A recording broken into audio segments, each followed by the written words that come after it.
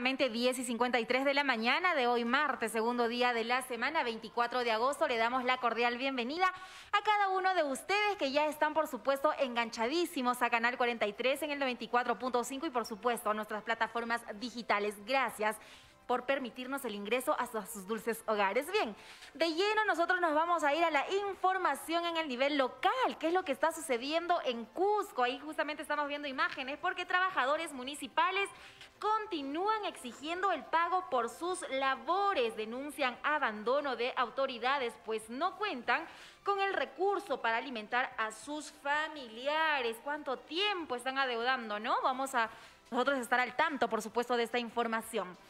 Bien, vamos a cambiar de tema y vamos a hablar de incendios forestales. ¿Qué es lo que está sucediendo? No solo en el Perú, también en Bolivia. Bueno, incendio de grandes proporciones que se originó en Bolivia, se extiende hasta Paraguay y genera alerta en el Perú.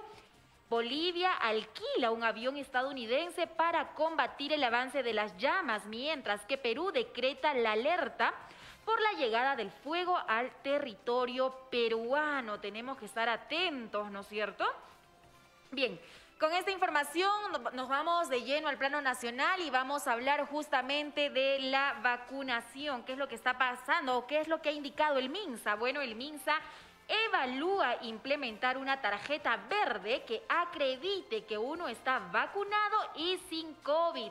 El ministro de Salud, Hernando Ceballos, adelantó que su sector evalúa la posibilidad de implementar una especie de pasaporte sanitario en el Perú, en el Perú o una tarjeta verde la cual acreditaría que un ciudadano cuenta con su esquema completo de vacunación o que ya no tiene COVID. Qué buena eh, iniciativa, ¿no? Debería de ser esto desde mi punto de vista. Bien. Vamos a cambiar de tema y vamos a hablar del bono aquí en nuestro Perú. ¿Cuándo se va a dar a cabo y quiénes van a recibir? Bueno, ya es oficial. El gobierno autoriza entrega de 700 mínimo por hogar, 700 soles. El gobierno oficializó ayer la entrega del bono que se ya denomina Yanapa y Perú que consiste en un subsidio de 350 soles para cada persona en situación de pobreza, con un mínimo de 700 soles por familia, como parte de la estrategia de reactivación de la economía afectada por la pandemia pues, del COVID-19. Con esta información nos vamos de lleno al plano internacional para poder hablar de Israel. ¿Qué es lo que está sucediendo? Bueno, Israel autorizó la tercera dosis de la vacuna de Pfizer para mayores de 30 años. El, Ministerio de Sanidad de Israel autorizó la medida de urgencia y así aumentar el número de inmunizados con tercera dosis que hasta la fecha se reporta en más de 1.5 millones y así se podrá continuar con un nuevo rango eh, al que había empezado en julio con solo mayores de 60 años. Ahora ya mayores de 30 van a ser inmunizados en Israel con la tercera dosis. Qué buena de verdad opción y alternativa. Bien, nosotros con ello hemos llegado a la parte final de este bloque informativo, pero usted quédese como siempre en la programación buena que brinda, por supuesto, Canal 43, pero antes de este bloque agradecemos a Orión Supermercados, la estrella de los precios bajos. ¿Usted quiere ahorrar?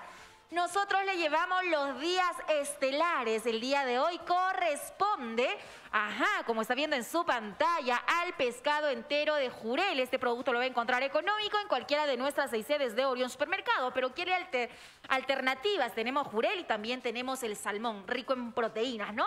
Ah, pues a precios cómodos, competitivos al del mercado. Vaya a hacer las compras respectivas cómprale al Cusco y de esta manera generemos puestos de trabajo y por supuesto incrementemos los ingresos en nuestra región que tanto nos hace falta. Bien.